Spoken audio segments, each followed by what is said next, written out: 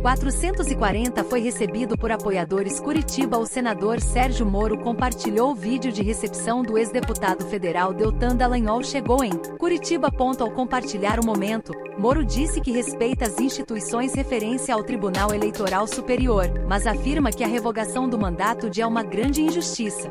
Respeitamos, é claro, as instituições. Mas é uma ótima injustiça a revogação Deltan Duraquemuna 3 Util 1014 Sérgio Moro 20 de maio 2023 em uma entrevista ao jornal O Estado, de S. Paulo Dalla Globinol afirmou que conversou com o senador Sérgio Moro e que ele se tornou disponível para ajudar. Moro X Dalanol, eles trabalharam juntos no contexto da Operação Carra de Carro em procedimentos e decisões em procedimentos, incluindo aqueles que levaram à condenação do presidente Lula. Em 2019, o Intercepto Brasil divulgou uma série de mensagens trocadas através do aplicativo Telegram, entre eles, sobre procedimentos e decisões em processos, incluindo aqueles isso levou à convicção do presidente Lula. Eles foram acusados de viés e algumas condenações foram anuladas. Recentemente, Moro e Dalanol foram acusados tentativa de extorsão pelo advogado Rodrigo Tacla Duran durante a operação lavagem do carro.